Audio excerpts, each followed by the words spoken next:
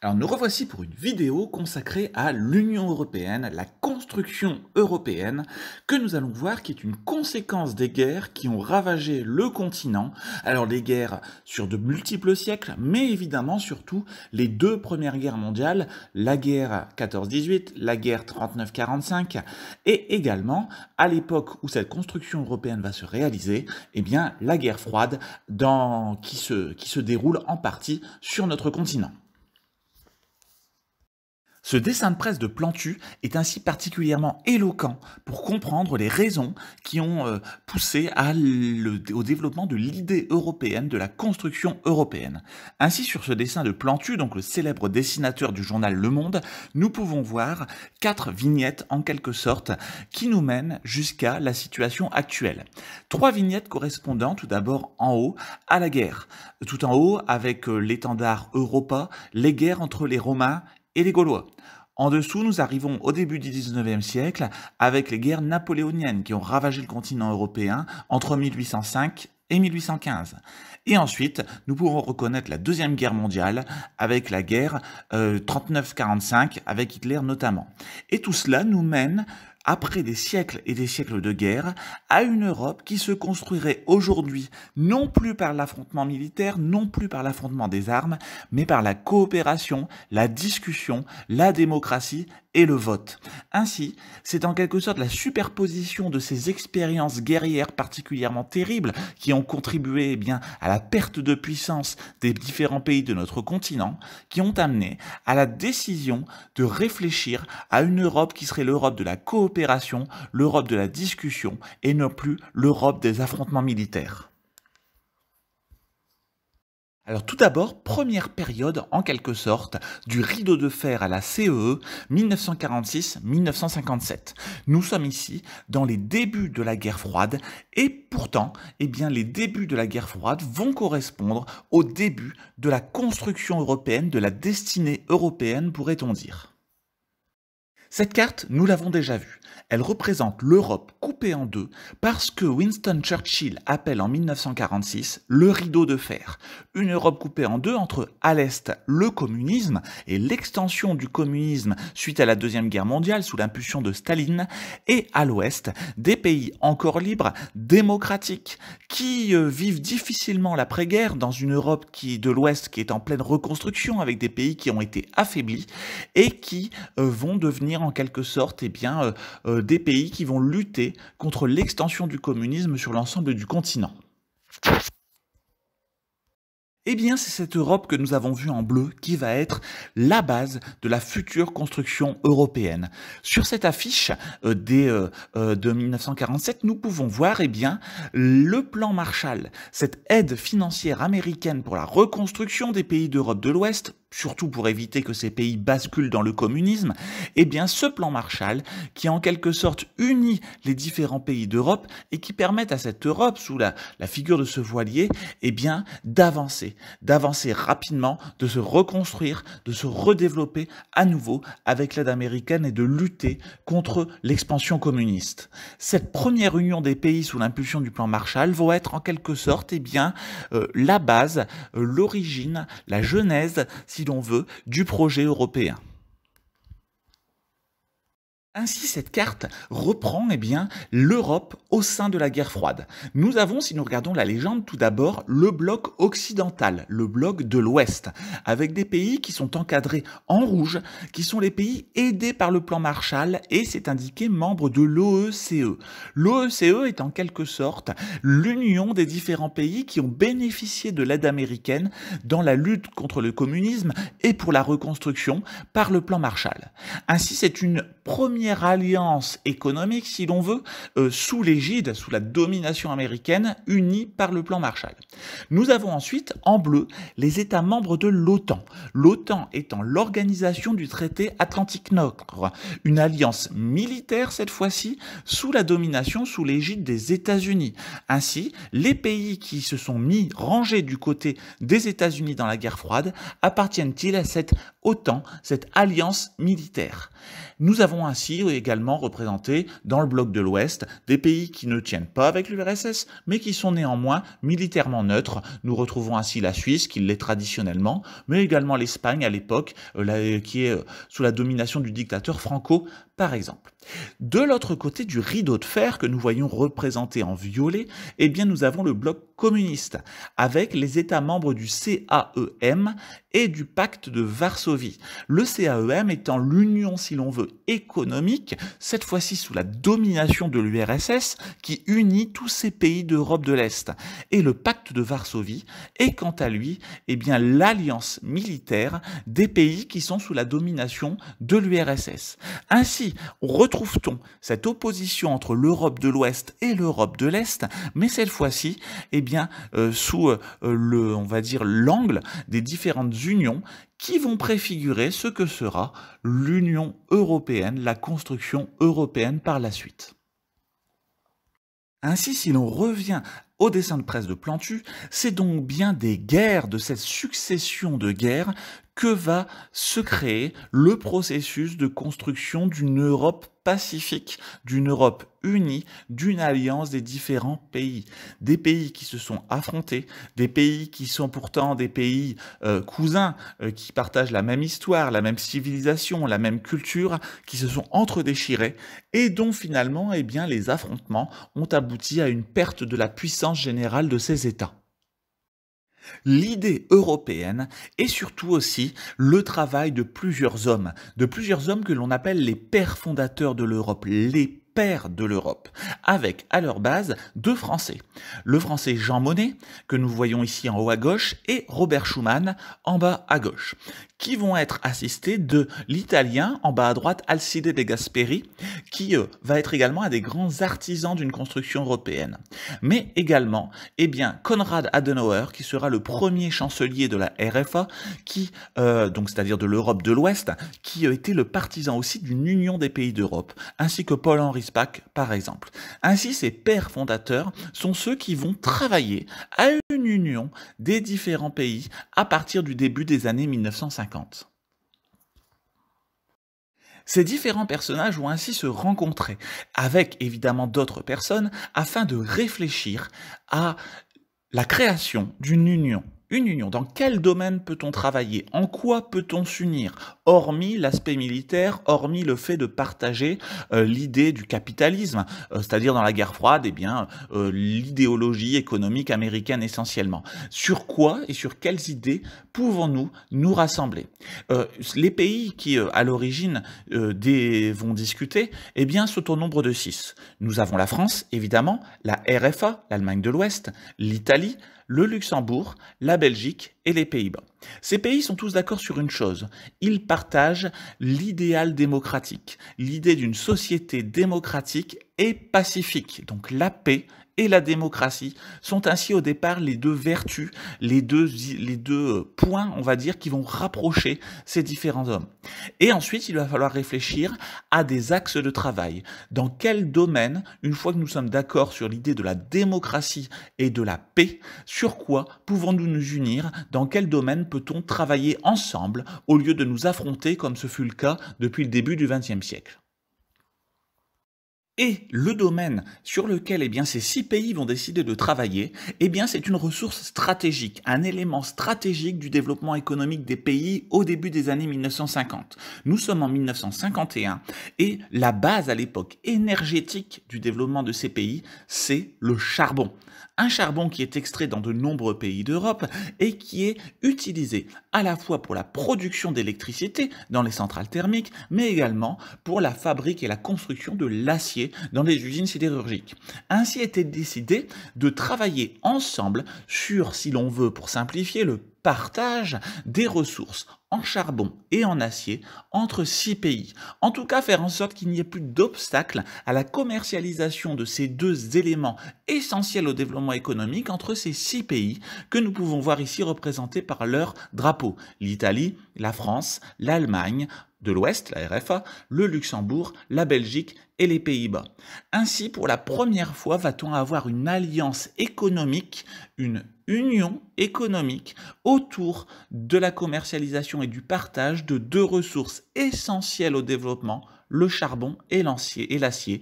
C'est donc la communauté européenne du charbon et de l'acier, la CECA, qui est mise en place en 1951 par le traité de Paris. Déjà, un gros progrès. Il s'agit de voir comment nous pouvons travailler ensemble et voir sur cette première expérience en quoi cela peut aider le développement économique, la reconstruction également de ces pays de manière autonome, sans les États-Unis, après la Deuxième Guerre mondiale. Et cette CECA, que nous voyons ici rassemblant nos six pays, va avoir son succès et va être une réussite qui va permettre à ces six pays de mutualiser leurs ressources, de partager leurs ressources, de partager leurs connaissances, leurs expertises et de se développer de manière collective en partageant derrière cela leurs idéaux qui sont les idéaux de démocratie, de paix, de capitalisme, d'économie capitaliste et libérale. Cette première expérience est donc un succès qui va amener à une collaboration approfondie par la suite. Et cet approfondissement du travail en commun va donner lieu en 1957 au traité de Rome, qui est réellement la base de notre rêve européen de notre construction européenne aujourd'hui.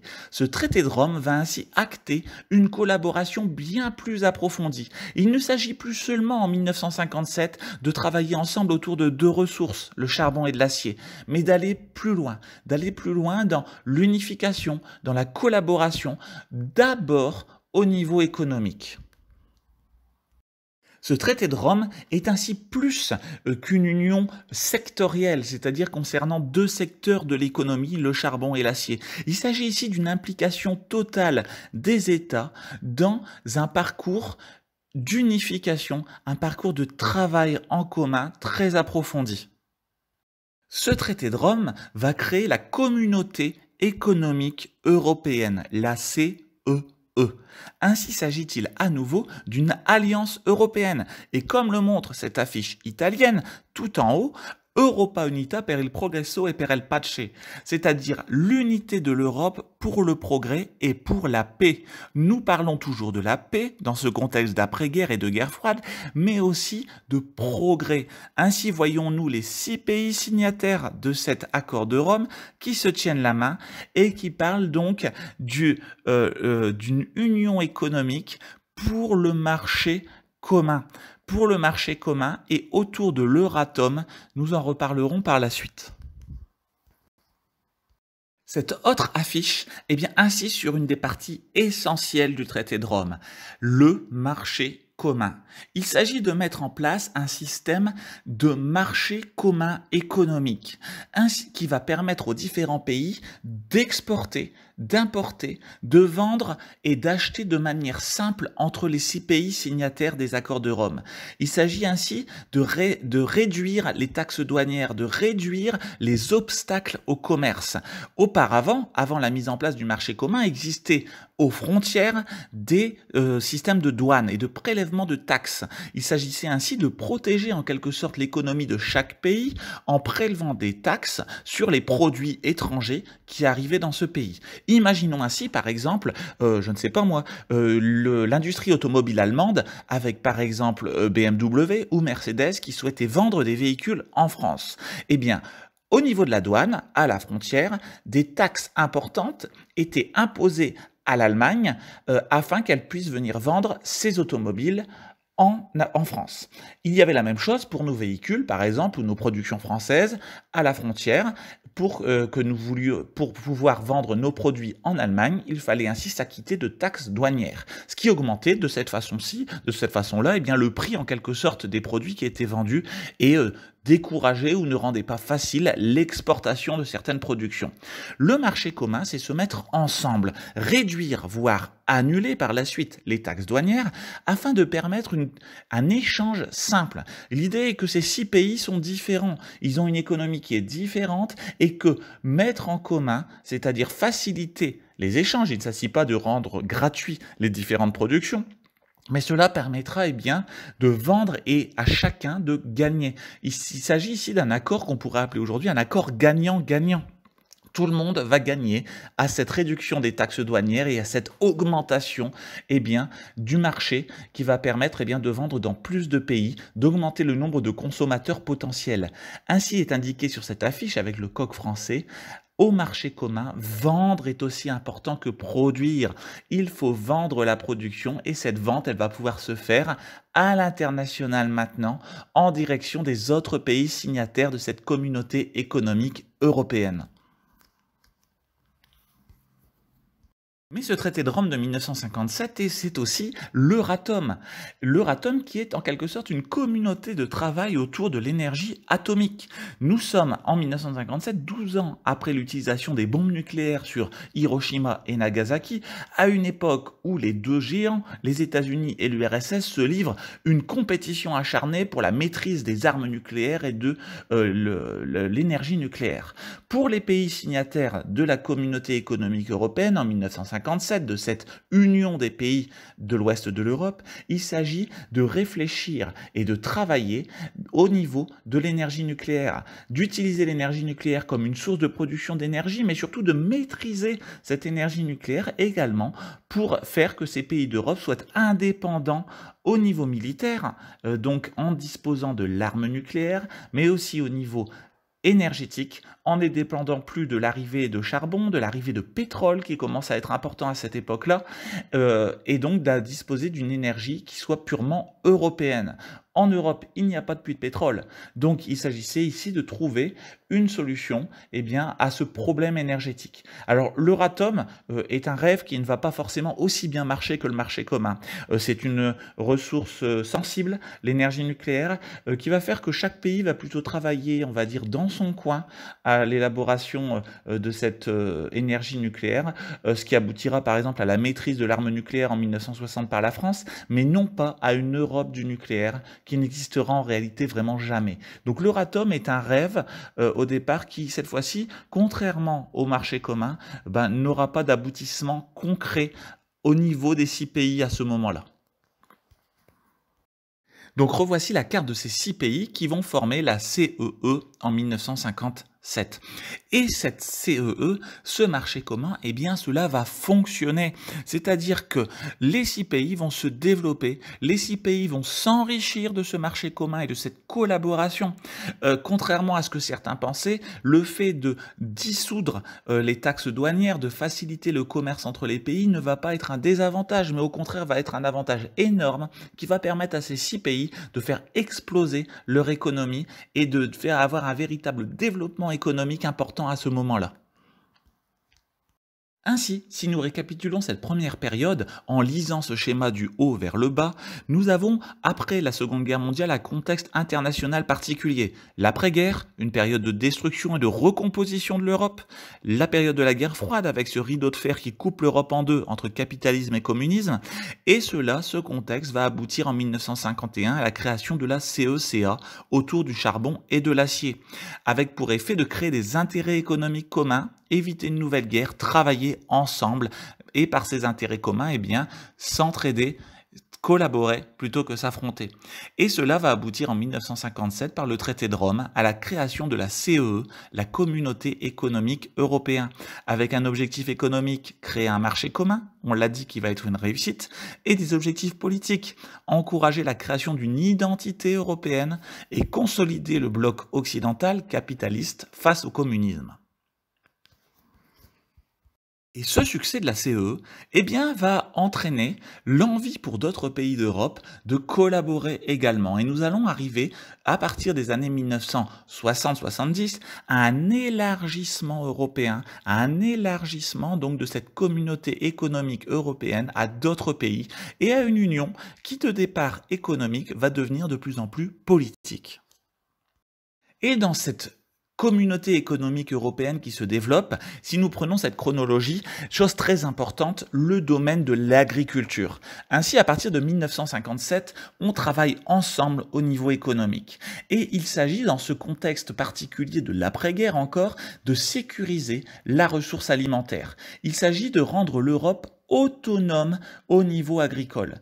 Ainsi, en 1957, eh bien, le traité de Rome va fixer le cadre d'une politique agricole commune que l'on va appeler la PAC, politique agricole commune, qui a pour but d'assurer l'indépendance alimentaire des pays membres. Cette politique agricole commune va se mettre réellement en place en 1962 et elle va permettre de nombreuses choses au niveau du développement agricole et de l'autonomie agricole et alimentaire de notre continent et des pays signataires du traité de Rome. Cette PAC, cette politique agricole commune, va avoir des effets très très importants. Au premier chef pour un pays comme la France. En effet, si nous regardons ici à travers ce schéma, eh bien, euh, les effets et résultats, eh bien, augmentation de la production agricole, modernisation de l'agriculture. Ainsi, dans les années 1960, la politique agricole commune européenne va venir en aide aux agriculteurs français, notamment, euh, puisque à cette époque, eh bien, la France est la principale agriculture, le principal pays agricole de la CE avec l'Italie et va permettre aux agriculteurs eh de se moderniser. Nous allons assister à la mécanisation de l'agriculture, la possibilité pour ces agriculteurs de s'équiper en engins agricoles, mais aussi l'utilisation, afin d'augmenter la production, eh bien, de produits phytosanitaires, qu'il s'agisse des engrais ou qu'il s'agisse de pesticides, afin d'augmenter la production et de permettre à cette CE d'être autonome au niveau agricole, notamment euh, dans le domaine des céréales. Et cela eh bien, va permettre une augmentation donc de la production et donc une autonomie de notre agriculture européenne au sein d'une économie qui devient à l'époque de plus en plus mondiale. Aujourd'hui, cette politique agricole commune existe toujours. Après avoir permis le développement des agricultures des pays d'Europe de l'Ouest, eh bien aujourd'hui, elle aide le développement de l'agriculture des autres pays membres de l'Union européenne aujourd'hui, d'Europe de l'Est principalement, et soutient aujourd'hui le développement d'une agriculture davantage écologique, davantage durable, tout en permettant eh bien, aux agriculteurs de vivre euh, de leur activité. Celle-ci n'est pas sans effet négatif, celle-ci n'est pas sans reproche, mais néanmoins, cette politique agricole commune est quelque chose de très important, une très grande réussite de la construction européenne depuis 1962. Et le succès rencontré par la CE, par son marché commun, par son développement économique, par sa politique agricole commune, va entraîner eh bien, des demandes d'adhésion d'autres pays attirés par la réussite de cette CE. Et en 1973, deux nouveaux pays membres vont faire passer l'Europe de 7 pays à 10 pays. En effet, c'est l'entrée du Danemark, du Royaume-Uni et de l'Irlande, à ce moment-là en 1973.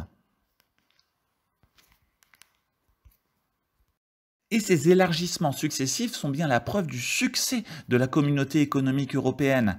Après les adhésions de 1973, en 1981, c'est la Grèce qui adhère à cette union, ouvrant en quelque sorte la CE vers les pays de l'Europe méditerranéenne et de l'Europe davantage de l'Est. La Grèce, jusqu'ici, ne pouvait pas adhérer car elle était une dictature. En 1981, elle est redevenue une démocratie et peut ainsi adhérer à cette communauté économique européenne. Et cette Europe va passer à 12 membres en 1986, avec les adhésions du Portugal et de l'Espagne. Ces deux pays eh bien, ne peuvent y adhérer qu'en 1986, tout simplement parce que, comme la Grèce, elles étaient auparavant des dictatures. Le Portugal va se débarrasser de la dictature de Salazar en 1975. L'Espagne va se débarrasser de la dictature en 1974 à la mort du dictateur Franco. Et ainsi, ces deux pays par la suite, après avoir fait leur transition vers une démocratie et un système économique plus en phase avec les autres pays d'Europe, adhèrent à la communauté économique en 1986. L'Europe est ainsi maintenant une alliance de 12 pays, 12 pays qui partagent une culture, une civilisation, des vertus et des euh, valeurs communes et qui vont décider d'approfondir leur collaboration.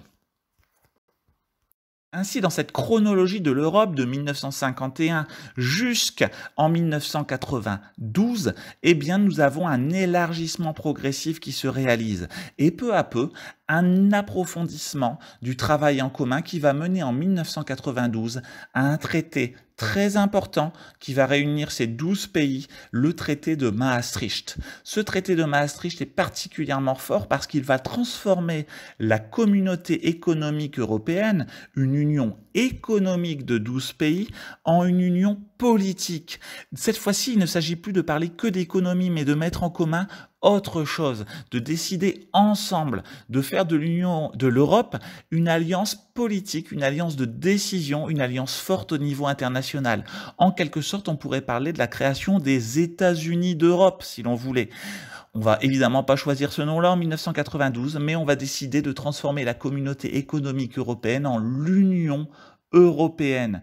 Une union économique, une union politique avec des institutions et également une union monétaire, puisqu'en 1992, on décide de mettre en place l'idée d'une monnaie unique qui servira à stimuler encore l'activité économique et qui devra être adoptée par la suite. Il s'agit ainsi d'aller plus loin dans cette union euh, qui nous unit depuis à cette époque-là, 1951. Et cette alliance européenne, cette Union européenne va se doter eh ben, des attributs d'une union politique, faire quasiment de cette Union européenne un pays des États-Unis d'Europe, si l'on veut, avec l'apparition de ce drapeau, ce drapeau donc aux étoiles qui rassemble eh bien, les douze pays de l'Union européenne. Mais qui dit pays dit aussi eh bien, un hymne, pas seulement un drapeau. Et c'est euh, la symphonie numéro 9 de Beethoven, un de ses extraits, un de ses mouvements, euh, l'hymne à la joie ou l'ode à la joie, qui va devenir l'hymne européen, que vous pouvez entendre en extrait dans la vidéo suivante, dans la diapo suivante.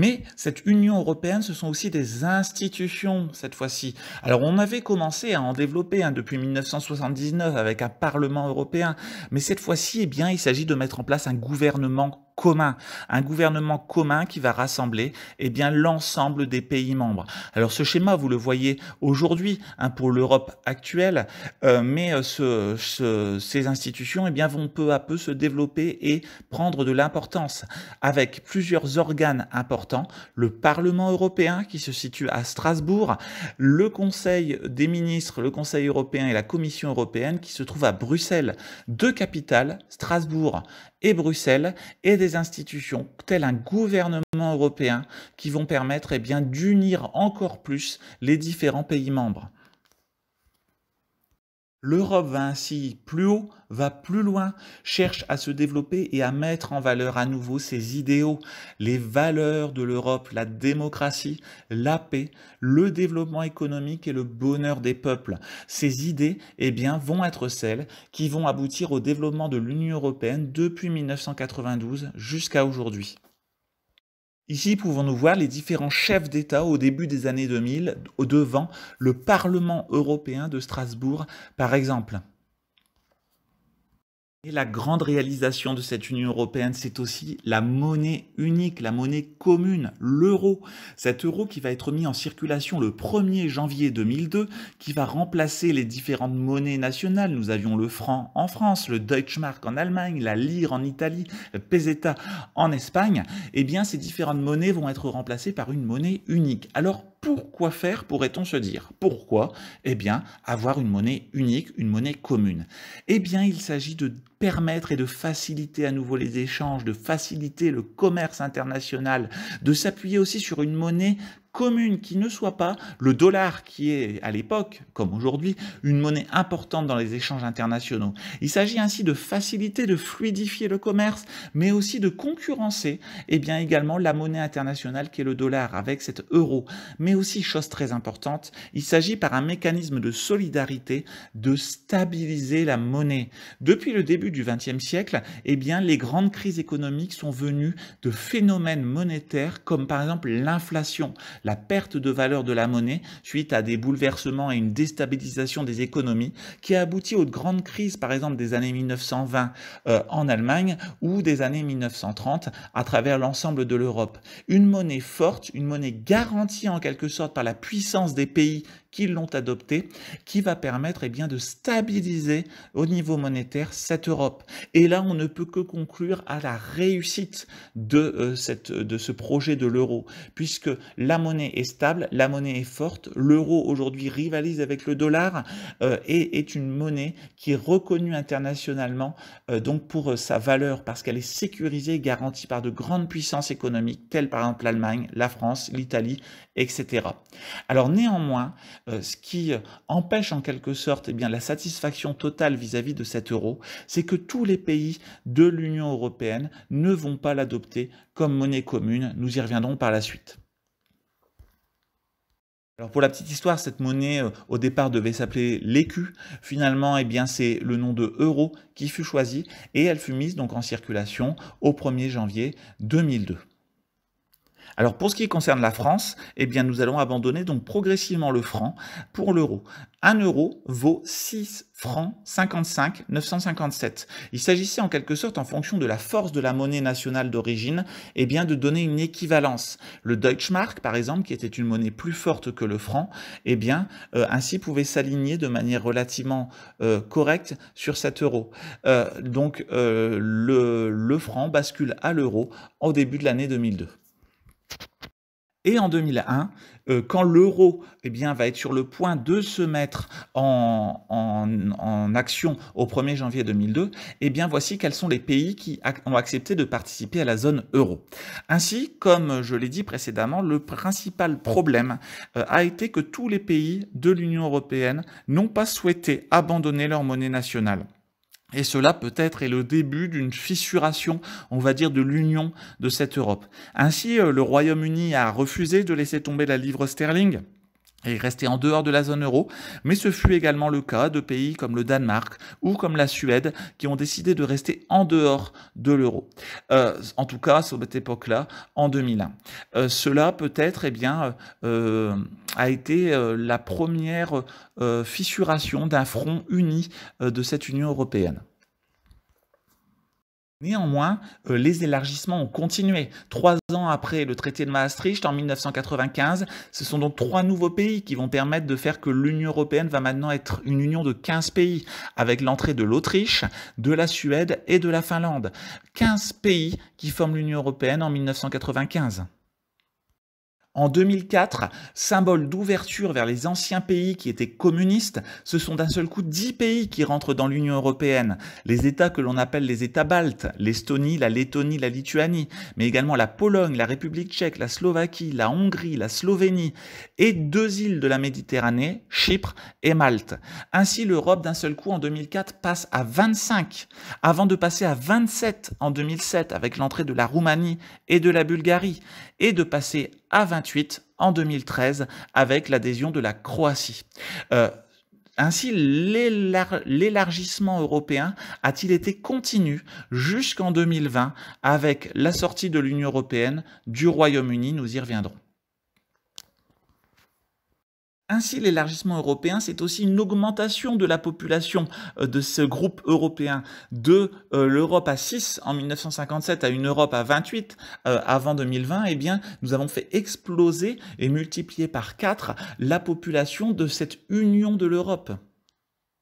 Mais l'Union européenne, ce n'est pas que la monnaie, c'est également eh un espace de libre circulation. L'espace de libre circulation que l'on a appelé la zone Schengen, qui a fait disparaître les contrôles aux frontières à travers eh les pays euh, ayant adhéré à, cette, cet espace Schengen.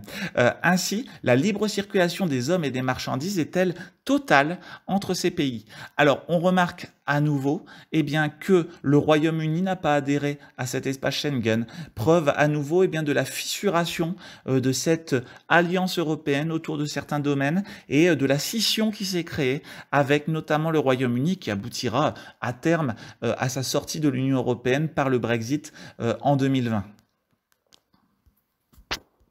Ainsi, cet espace Schengen permet-il, puisqu'il a été étendu par la suite aux pays d'Europe de l'Est, de circuler librement à travers l'Union européenne. Vous n'avez pas connu eh bien, les temps euh, d'attente à la frontière pour les contrôles des papiers, les embouteillages à la frontière belge, euh, le temps que euh, l'ensemble des personnes souhaitant passer puissent aller de l'autre côté de la frontière. Cet espace Schengen va aussi permettre eh bien, le développement du travail frontalier, c'est-à-dire le travail entre les frontières. Ainsi, par exemple, dans le nord de la France, eh bien, nous avons des milliers de Français qui chaque jour vont travailler en Belgique, des milliers de Belges qui viennent travailler en France. En Alsace, des milliers d'Alsaciens qui chaque jour vont travailler euh, en Allemagne, par exemple, euh, ou bien en Lorraine, des Français qui vont travailler au Luxembourg. Ces euh, échanges et cet espace Schengen va permettre eh bien, de rendre beaucoup plus libre la circulation, de rendre, eh bien, de créer aussi une identité européenne autour de ces circulations, de ces échanges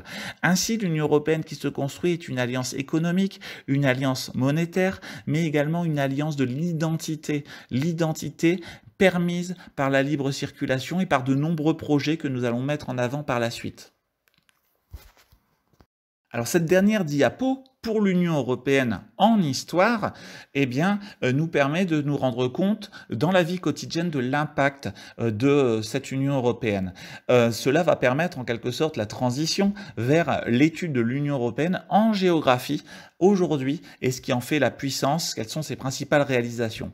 Mais ce document est assez intéressant afin de se rendre compte que dans notre quotidien, l'Union européenne est omniprésente. ainsi, par exemple, si nous commençons par ce qui n'est pas le plus important, mais peut-être le plus symbolique, eh bien, les téléphones portables, puisque euh, depuis euh, quelques années, eh bien, il n'y a plus de frais d'itinérance euh, entre les différents pays de l'Union européenne. Ainsi, pouvons-nous utiliser au même tarif notre téléphone à l'étranger et Internet à l'étranger, comme si nous étions en France. ainsi, cela a mis fin aux frais terribles qui existaient pour aller sur Internet quand nous étions en Belgique ou dans d'autres pays voisins.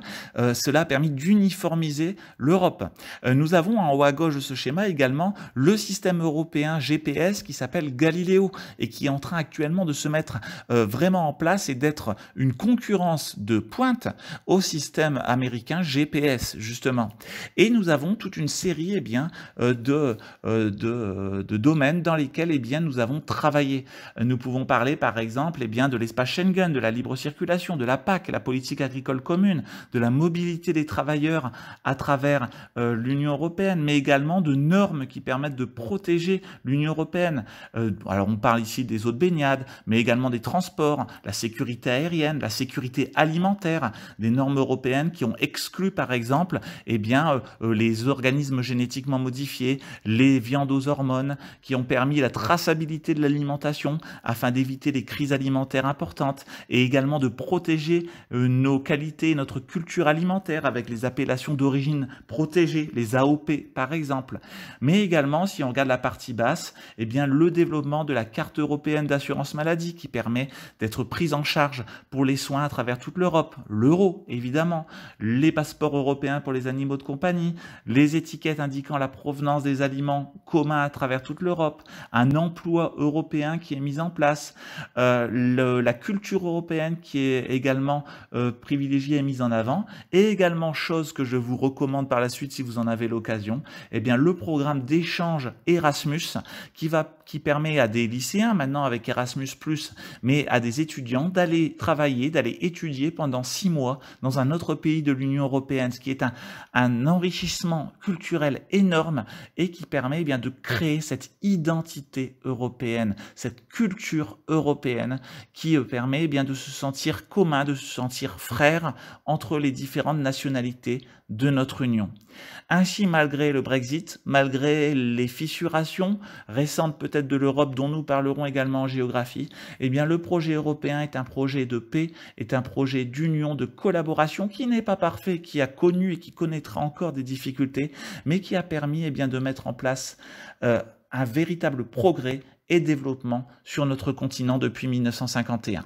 Nous verrons donc à travers une future vidéo en géographie eh bien, les qualités et défauts de cette Union européenne à l'heure actuelle.